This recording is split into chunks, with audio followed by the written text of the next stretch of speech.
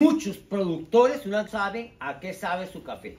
Una bodega para café no debe de tener olor a nada.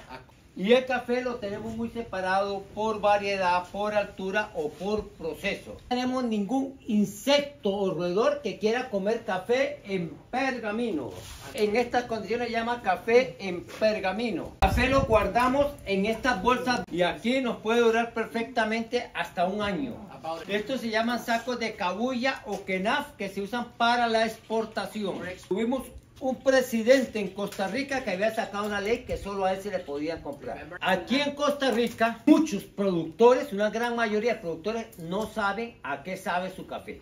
Nosotros tenemos un proyecto con pequeños productores procesándole su café para que puedan tomar de su propio café.